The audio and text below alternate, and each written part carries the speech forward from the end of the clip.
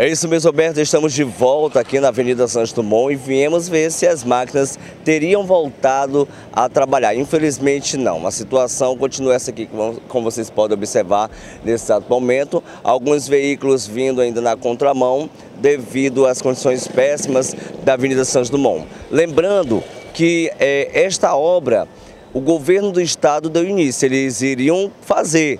Só que como o prefeito da cidade tomou de conta da obra, disse que a obra seria dele, e desde quando ele tomou aí frente da obra, a obra parou e as máquinas sumiram. E hoje, segunda-feira, dia 29, continua aqui, ó, dessa forma, parado. Infelizmente, eu não sei se vocês conseguem pegar aqui, ó, o trânsito ainda continua muito bagunçado. Agora mesmo o carro passou aqui na contramão, né, e a situação é essa, lá, as motocicletas tendo que vir ainda na contramão, procurando justamente é, o trecho melhor da Avenida Santos Dumont, enquanto este outro lado continua nesta situação.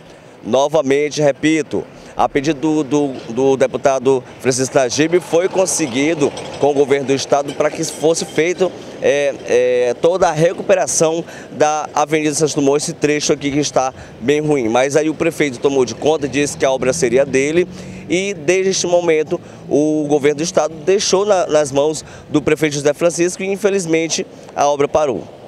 A pergunta é, o que é que vai ser feito aqui? Por que que parou as notas? Nenhuma nota foi lançada aí pela prefeitura para falar por que, que a obra parou, se vai continuar. Aí a população cordoense fica nesta situação, infelizmente. De volta ao estúdio com você.